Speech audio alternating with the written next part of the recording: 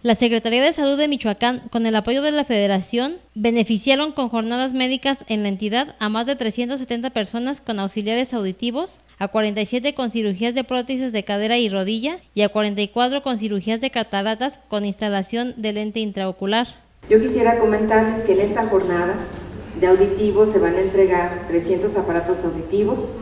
como parte del programa para oírte mejor. Y serían 42 cirugías de prótesis de rodilla y de cadera que se están realizando en el Hospital Civil y en el Hospital de la Mujer, muchas gracias,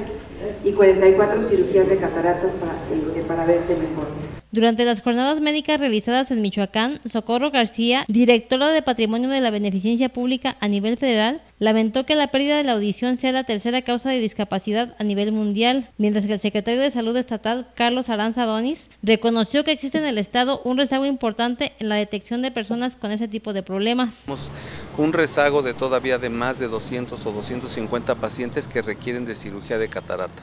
Tenemos alrededor de unos 500 pacientes que se requieren de detección